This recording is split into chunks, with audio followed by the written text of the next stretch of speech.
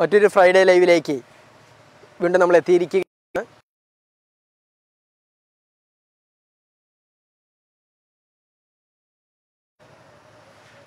സ്നേഹമുള്ളവരെ എല്ലാവർക്കും നമസ്കാരം. മറ്റൊരു ഫ്രൈഡേ ലൈവിലേക്ക് വീണ്ടും നമ്മൾ എത്തിയിരിക്കുകയാണ്. എല്ലാവരെയും സ്നേഹപൂർവം ഞാൻ സ്വാഗതം ചെയ്യുന്നു.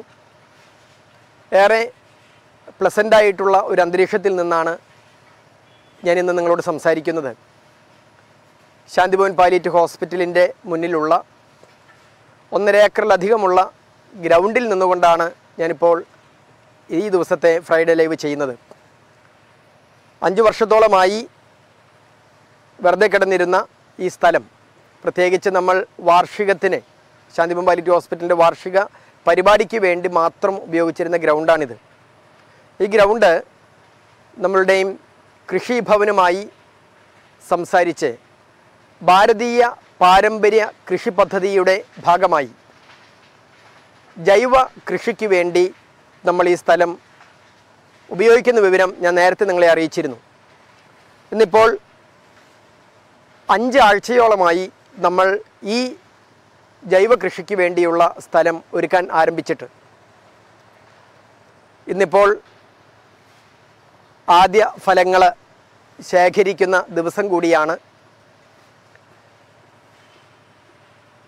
കാർഷിക വിഭാഗവുമായി ബന്ധപ്പെട്ട് ഒരു വിളവെടുപ്പ് ഉത്സവം നടത്തണമെന്നുള്ള ആഗ്രഹം നമുക്കുണ്ട്.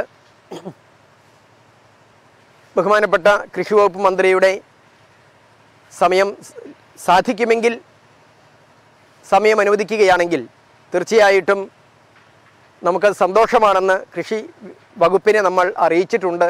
അവർ അവരുടെ ഭാഗത്തു നിന്ന് വേണ്ടത് ചെയ്യാം. മന്ത്രിയുടെ സമയം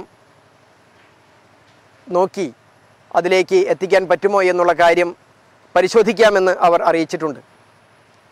ഇന്നിപ്പോൾ വലച്ചിറ കൃഷിഭവന്റെ നേതൃത്വത്തിൽ ഭാരതീയ പാരമ്പര്യ കൃഷി പദ്ധതിയുടെ പഠന ക്ലാസ് നടക്കുകയാണ്. നാളെ ചേർപ്പ് ബ്ലോക്കിന്റെ നേതൃത്വത്തിലുള്ള ഭാരതീയ പാരമ്പര്യ കൃഷി പദ്ധതിയുടെ പഠന ശിബിരം ഈ ഓർഗാനിക് ഫാമിൽ ക്രമീകരിച്ചിരിക്കുന്ന വിവരം ഞാൻ സന്തോഷപൂർവം നിങ്ങളെ അറിയിക്കുന്നു. അതിന് മുൻകൈയെടുത്ത അസിസ്റ്റന്റ് ഡയറക്ടർ ഗോപകുമാർ സാറിനോടുള്ള സ്നേഹവും നന്ദിയും ഞാൻ ഈ അവസരത്തിൽ അറിയിക്കുകയാണ്. പ്രിയമുള്ളവരെ ഈ കൃഷിയിലേക്ക് നമ്മൾ ഇറങ്ങിയതിന്റെ പിന്നിൽ പ്രധാനമായ ഒരു കാര്യം ഞാൻ നിങ്ങൾ ശ്രദ്ധയിൽപ്പെടുത്താൻ ആഗ്രഹിക്കുന്നു. നമ്മളുടെയും ട്രീറ്റ്മെന്റ് പ്ലാന്റിൽ നിന്നും ലഭിക്കുന്ന ശുദ്ധീകരിച്ചെടുക്കുന്ന വെള്ളം അത് ഇത്തരത്തിലുള്ള കാര്യങ്ങൾക്ക് ഉപയോഗിക്കുകയാണെങ്കിൽ നമുക്ക് ട്രീറ്റ്മെന്റ് പ്ലാന്റിന്റെ ആ വെള്ള ശുദ്ധീകരണത്തിന്റെ പ്രക്രിയ ക്രമമായി നടത്താൻ സാധിക്കും. അതുപോലെ തന്നെ അതിന്റെ കൂടെ പച്ചക്കറി കൃഷി നമുക്ക് വളർത്തി കൊണ്ടുവരുവാനും സാധിക്കും. ഇപ്പോൾ ഒരു ആശുപത്രിയുടെ നടത്തിപ്പിന്റെ ഭാഗമായി തന്നെയാണ് ഈ ജൈവ കൃഷിയുടെ ഈ പ്രവർത്തനത്തെയും ഞാൻ കാണുന്നത്. നമുക്ക് ഇടുക്കി സ്വദേശിയായ മിസ്റ്റർ ഫ്രാങ്ക്ലിനാണ് ഈ കാർഷിക പ്രവൃത്തികൾക്ക് വേണ്ടി നമ്മുടെ വേഡ് സീഡ് ഓർഗാനിക് ഫാമിന്റെ കാര്യങ്ങൾ കോർഡിനേറ്റ് ചെയ്യാനായിട്ട് മുന്നിൽ നിൽക്കുന്നത്. ഞാൻ അദ്ദേഹത്തെ പ്രത്യേകം അപ്രീഷിയേറ്റ് ചെയ്യുകയാണ്. കാരണം അഞ്ചാഴ്ച കൊണ്ട് തന്നെ പരിക്കുകളില്ലാതെ ഈ കൃഷിയെ വേണ്ട വിധം വളർത്തിക്കൊണ്ടുവരുവാൻ മുന്നിൽ നിന്ന് നയിക്കുന്നതിനെ നമ്മെ സഹായിച്ച വ്യക്തിയാണ് മിസ്റ്റർ ഫ്രാങ്ക്ലിൻ. അദ്ദേഹം ഇംഗ്ലീഷ് ലിറ്ററേച്ചറിൽ പി ജി ഉള്ള വ്യക്തിയാണ്. അതുപോലെ തന്നെ എം ഫിൽ ബിരുദധാരിയാണ്. ഇപ്പോൾ ഇംഗ്ലീഷ് ലിറ്ററേച്ചറിൽ തന്നെ പി എച്ച് ഡി ചെയ്യാനായി ചെയ്തുകൊണ്ടിരിക്കുന്നു എന്നുള്ള സന്തോഷം കൂടി എനിക്കുണ്ട്. അഭ്യസ്ത വിദ്യർ കാർഷിക മേഖലയിൽ ഇറങ്ങിത്തിരിക്കുമ്പോൾ തീർച്ചയായും രാജ്യപുരോഗതിക്ക് ഉൽപ്പാദന മേഖലയ്ക്ക് അത് വലിയ നേട്ടം തന്നെയായിരിക്കും എന്നുള്ളതിന്റെ തെളിവ് കൂടിയാണ് മിസ്റ്റർ ഫ്രാങ്ക്ലിൻ ശാന്തിപം ഹോസ്പിറ്റലിന്റെയും ഹോസ്പിറ്റലിന്റെ ബേഡ് സീഡ് ഓർഗാനിക് ഫാമിൽ കാണിച്ചു തന്നിരിക്കുന്നത് എന്നുള്ള സന്തോഷകരമായ കാര്യം കൂടി ഞാനിവിടെ നിങ്ങളുടെ ശ്രദ്ധയിൽപ്പെടുത്തുന്നു. പ്രിയമുള്ളവരെ ശാന്തിഭവൻ പാലിയേറ്റ് ഹോസ്പിറ്റൽ വൃദ്ധർ കിടപ്പ് രോഗികൾ മരണാസന്നർ എന്നിവർക്ക് വേണ്ടി മാത്രമുള്ള ഒരു സൗജന്യ പരിചരണ ആശുപത്രിയാണെന്ന കാര്യം നിങ്ങൾക്കറിയാം. ഈ സൗജന്യ സേവന ആശുപത്രി കിടപ്പ് രോഗികൾക്കും വൃദ്ധർക്കും മരണാസനർക്കും വേണ്ടി നമ്മൾ ക്രമീകരിച്ചിട്ടുള്ളത്. അത് പൊതുസമൂഹത്തിന്റെ വലിയ പിന്തുണയുണ്ടെങ്കിൽ മാത്രമേ നമുക്കത് ഇതുവരെ പ്രവർത്തിച്ചതും ഇനി ഇതിനേക്കാൾ നല്ല രീതിയിലും പ്രവർത്തിക്കുവാനായിട്ട് നമുക്ക് സാധിക്കുകയുള്ളൂ. ഞാൻ പറയട്ടെ കിടപ്പ് രോഗികളായിട്ടുള്ള വ്യക്തികളെ സംബന്ധിച്ചിടത്തോളം ക്യാൻസർ രോഗം ഉണ്ടാകാം നെഫ്രോ ഇഷ്യൂസ് ഉണ്ടാകാം അതുപോലെ തന്നെയും സ്ട്രോക്കിന്റെ stroke problems liver cirrhosis problems old age problems ഇങ്ങനെ വ്യത്യസ്തങ്ങളായ രോഗാവസ്ഥകളുടെ രോഗാവസ്ഥകളുടെ കടന്നു പോകുന്ന കിടപ്പ് രോഗിക്ക് വീട്ടിൽ തന്നെ പരിചരണം ഉറപ്പുവരുത്താൻ പറ്റാത്ത സാഹചര്യങ്ങളിലുള്ള രോഗികളെയാണ് വീട്ടുകാർ ബൈസ്റ്റാൻഡർ സഹിതം നമ്മുടെ ആശുപത്രിയിലേക്ക് കൊണ്ടുവരുന്നത്. ഇത് ഇതൊരു ആശുപത്രിയാണെങ്കിൽ പോലും ഇതിലൊരു കുടുംബാന്തരീക്ഷമാണ്. കുടുംബാന്തരീക്ഷം എന്ന് പറയുന്നത് കിടപ്പ് രോഗിക്ക് കുടുംബാന്തരീക്ഷം ഉണ്ടാക്കി കൊടുത്തില്ലെങ്കിൽ വലിയ അന്യതാബോധവും മാനസിക വേദനയും പിരിമുറുക്കവുമാണ് സംഭവിക്കുക. അതുകൊണ്ട് തന്നെ നാളെ വൃദ്ധരാകാൻ കിടപ്പിലാകാൻ മരണാസനരാകാൻ ഒരുങ്ങിക്കൊണ്ടിരിക്കുന്ന നമ്മളെ സംബന്ധിച്ചിടത്തോളം ഇത്തരത്തിലുള്ള സ്ഥാപനം എല്ലാ ജില്ലകളിലും രൂപപ്പെട്ടു വരിക എന്നുള്ളത് പ്രധാനപ്പെട്ട കാര്യമാണ്. ശാന്തിഭവൻ തിരുവനന്തപുരത്തും എറണാകുളത്തും കണ്ണൂരും ശാന്തി പാലിറ്റി ഹോസ്പിറ്റലിന്റെ ജില്ലാടിസ്ഥാനത്തിലുള്ള ആശുപത്രികൾ വികസിപ്പിക്കുന്നതിന്റെ വലിയ പരിശ്രമത്തിലാണ് ഏറ്റവും അടുത്ത് തിരുവനന്തപുരം നമുക്ക് ഓപ്പൺ ചെയ്യാനുള്ള സാഹചര്യത്തിലേക്ക് എത്തിയിട്ടുണ്ട്. നേരത്തെ സൂചിപ്പിച്ചതുപോലെ ഒക്ടോബർ മാസത്തിൽ നമുക്കതിന് സാധിക്കും എന്നുള്ള ചിന്തയാണ് എന്റെ മനസ്സിലുള്ളത്. അതിന്റെ എല്ലാ പ്രവർത്തനക്രമങ്ങളും അവിടെ നടന്നു വരുന്നു. പ്രിയമുള്ളവരെ ഇവിടെ സൗജന്യ ഡയാലിസിസ് പദ്ധതിയുണ്ട്. നമ്മൾ ഇവിടെ ഫ്രൈഡേ ലൈവ് ആരംഭിച്ചത് ഈ സൗജന്യ ഡയാലിസിസ് പദ്ധതി സമൂഹത്തെ അറിയിക്കുന്നതിന്റെ ഭാഗമായിട്ടാണ്. ഒരു മാസം നമുക്ക് വേണ്ടിവരുന്ന വരുന്ന ചെലവെന്ന് പറയുന്നത് അതിഭീമമാണ് ഡയാലിസിസിന് വേണ്ടി. എന്നാൽ അണ്ണാറക്കണ്ണൻ തന്നാലായത്.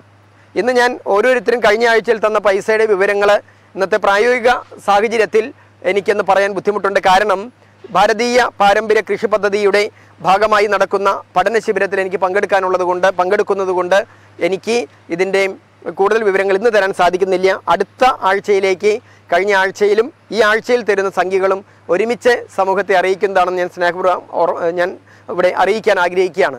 പ്രിയമുള്ളവരെയും നമ്മളുടെ ശാന്തിപൻ പാലിറ്റി ഹോസ്പിറ്റലിൽ നമ്മൾ നടത്തുന്ന സൗജന്യ ഡയാലിസിസ് പദ്ധതി ഒരു ഡയാലിസിസിന് എഴുന്നൂറ്റി അമ്പത് രൂപയുടെ പിന്തുണയാണ് നമ്മൾ അഭ്യർത്ഥിക്കുന്നത്.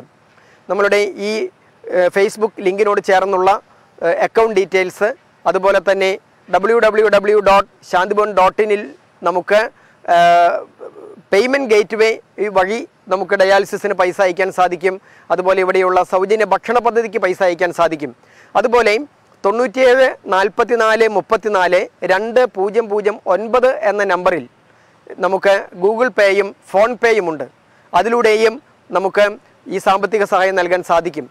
നിങ്ങൾ സാമ്പത്തിക സഹായം ഗൂഗിൾ പേ വഴിയോ ഫോൺ പേ വഴിയോ അയക്കുമ്പോൾ ദയവ് ചെയ്ത് എന്തിനു വേണ്ടിയാണ് അയക്കുന്നത് എന്നുള്ളത് റിമാർക്ക് കോളത്തിൽ രേഖപ്പെടുത്തിയാൽ വലിയ ഉപകാരമായിരിക്കും. ഡയാലിസിസിനാണോ ഭക്ഷണത്തിനാണോ അല്ലെങ്കിൽ ഇവിടുത്തെ പാലിയേറ്റീവ് ഹോസ്പിറ്റലിന്റെ സൗജന്യ പരിചരണത്തിലേക്കാണോ എന്താണെങ്കിൽ അതൊന്ന് നോട്ട് ചെയ്ത് വെച്ചാൽ ഞങ്ങൾക്ക് അതനുസരിച്ച് അക്കൗണ്ട് ചെയ്യാൻ സാധിക്കും. അതുപോലെ ഞാൻ പ്രത്യേകം ഡെജോ എന്ന സുഹൃത്തിനെ പ്രത്യേകം അഭിനന്ദിക്കുകയാണ്. കാരണം ജനുവരി മാസം മുതലേ അമ്പത് രൂപ നൂറ് രൂപ വീതം അദ്ദേഹത്തിന് പറ്റുന്ന രീതിയിൽ ചെറിയ സംഖ്യ അയച്ച് ഒരു ഡയാലിസിസിന് എഴുന്നൂറ്റി അമ്പത് രൂപയാണല്ലോ. ഇപ്പോൾ ഡെജോ എണ്ണൂറ്റി അമ്പത് രൂപ വരെ എത്തിച്ചിട്ടുണ്ട്. അപ്പോൾ ഒരു ഡയാലിസിസിന്റെ സംഖ്യ അണ്ണാറക്കണ്ണൻ തന്നാലായതെന്നുള്ള നിലയിൽ നമുക്ക് പൈസ നമുക്ക് എത്തിച്ചു തന്നു. അതുപോലെ പലരും ഇരുപതിനായിരം പതിനായിരം അയ്യായിരം മൂവായിരം രണ്ടായിരം ആയിരം ഒക്കെ വെച്ച് അയക്കുന്നവരുണ്ട്. ഞാൻ പറഞ്ഞല്ലോ ഈ വിശദ വിവരങ്ങൾ അടുത്ത ഫ്രൈഡേ ലൈവിൽ കഴിഞ്ഞ ആഴ്ചയിലേത് നിങ്ങളോട് അനൗൺസ് ചെയ്തു കൊള്ളാം ദയവ് ചെയ്ത് ഈ ഒരു ആവശ്യം നമുക്ക് ഇപ്പോൾ നാൽപ്പത് ശതമാനത്തോളം ഡയാലിസിസിന്റെ പിന്തുണയാണ് കിട്ടിയിട്ടുള്ളത്. ഇനി അറുപത് ശതമാനത്തോളം നമുക്ക് കണ്ടെത്തണം. ഇരുപത് ലക്ഷത്തിലധികം രൂപയാണ് നമുക്കിപ്പോൾ ഇതിനോടകം ശേഖരിക്കാൻ കഴിഞ്ഞത്. ഇനിയുള്ള മുപ്പത് ലക്ഷത്തിലധികം സംഖ്യ നമുക്ക് നമ്മുടെ എല്ലാവരുടെയും സഹകരണത്തോടെ ലഭിച്ചാലാണ് ഡയാലിസിസ് പദ്ധതി മാത്രം നമുക്ക് പൂർത്തീകരിക്കാൻ സാധിക്കുക. ഭക്ഷണ പദ്ധതിയും അതുപോലെ തന്നെ ഇവിടുത്തെ ഹോം കെയറും അതുപോലെ ആശുപത്രിയുടെ വിവിധ ചെലവുകളും. നിങ്ങൾക്കറിയാമോ? ഇത് വലിയൊരു ആശുപത്രി ആയാലും ചെറിയ ആശുപത്രി ആയാലും നടത്തിപ്പിന്റെ പ്രാഥമികമായ ബേസിക് എക്സ്പെൻസസ് ഒക്കെ സെയിം ആണ്. അത് പാലിയേറ്റീവ് ഹോസ്പിറ്റലാകട്ടെ ജനറൽ ഹോസ്പിറ്റൽ ഹോസ്പിറ്റലാകട്ടെ അതിന്റെ ബേസിക് എക്സ്പെൻസസ് ഒക്കെ സെയിം ആണ്. അതുകൊണ്ട് തന്നെ നല്ല ചിലവ് വരുന്നുണ്ട്. നിങ്ങളുടെ എല്ലാവരുടെയും പിന്തുണ ഞാൻ സ്നേഹപൂർവം അഭ്യർത്ഥിക്കുകയാണ്. നമുക്കിനി വൈകാതെ നല്ലൊരു തൊഴുത്ത് ഇവിടെ വരണം. നമുക്ക് ഇപ്പോൾ മൂന്ന് ആടുകളെ കിട്ടി. ഇനി നമുക്ക് കുറച്ച് പശുക്കളെ നമുക്ക് മേടിക്കാനുണ്ട്. കാരണം ഈ കൃഷിക്കായാലും നമുക്ക് എന്തു വേണം? ചാണകം വേണം ആട്ടിൻകാട്ടം വേണം കോഴിക്കാഷ്ടം വേണം അങ്ങനെ എല്ലാറ്റിന്റെയും പിന്തുണ വേണമെങ്കിൽ ഇതെല്ലാം നമ്മുടെ കൂടെ ഉണ്ടാകണം. അതുപോലെ നമുക്ക് നല്ലൊരു ബയോഗ്യാസ് പ്ലാന്റ് ഉണ്ട് മുപ്പത്തഞ്ച് എം ക്യൂബിന്റെ. അതിലേക്ക് നമുക്ക് വേസ്റ്റ് തികയുന്നില്ല. അപ്പോൾ അതെല്ലാം നമ്മൾ ഉദ്ദേശിച്ചുകൊണ്ട് കൂടി തന്നെയാണ് ഇതെല്ലാം നമ്മൾ കോർഡിനേറ്റ് ചെയ്യുന്നത്. ഞാൻ നിങ്ങളുടെ എല്ലാവരുടെയും സഹകരണം അഭ്യർത്ഥിക്കുകയാണ്. ഇന്നത്തെ ഫ്രൈഡേ ലൈവ് ഭാരതീയ പാരമ്പര്യ കൃഷി പദ്ധതിയുടെ ഭാഗമായുള്ള പഠന ശിബിരത്തിൽ പങ്കെടുത്തുകൊണ്ടിരിക്കുന്നത് കൊണ്ട് ഞാൻ പെട്ടെന്ന് തന്നെ അതിൽ പങ്കെടുക്കാൻ പോവുകയാണ്. ഞാൻ അത് അതിന്റെ അതിൽ നിന്നാണ് ഞാനിപ്പോൾ ഇത് വന്ന് ചെയ്യുന്നത് ഈ ലൈവ് ചെയ്യുന്നത്. ഏറെ സന്തോഷവും സ്നേഹവും ഞാൻ രേഖപ്പെടുത്തിക്കൊണ്ട് എന്നെ ശ്രമിച്ച് നിങ്ങളെല്ലാവരോടും നമ്മളുടെയും ഡയാലിസിസ് പദ്ധതിയിലേക്കും പാലിയേറ്റീവ് ഹോസ്പിറ്റൽ നടത്തിപ്പിലേക്കും പിന്തുണ നൽകിക്കൊണ്ടിരിക്കുന്ന എല്ലാവരോടും ഞാൻ നന്ദി അറിയിച്ചുകൊണ്ട് എന്റെ വാക്കുകൾ ഉപസംഹരിക്കുന്നു. നന്ദി നമസ്കാരം.